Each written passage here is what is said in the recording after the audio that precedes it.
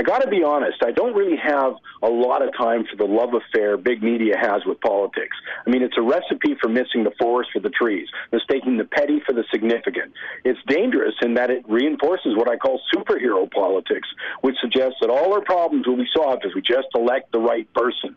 Unfortunately, the real world's far more complex. While the hyper focus on politi- political drama may fill an entertainment void, it's a major reason why the same problems persist year after year from poverty, economic growth to unemployment. Every issue is shuffled onto the simplicity train, which mitigates against effective solutions. I mean, look at the record on native reserves. Same tragedies, abysmal living conditions for decades.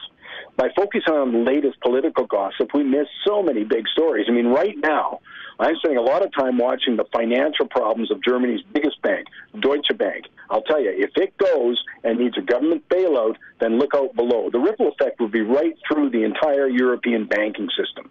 Uh, we hear things like snippets of Russian aggression, maybe in the Baltics, but little more. Even when it comes to U.S. politics, the important story with the profound implications isn't the narcissistic, bombastic Donald Trump, the uber ethically challenged Hillary Clinton. It's how did the U.S. democracy get in this sorry state? 324 million people, and we got this choice?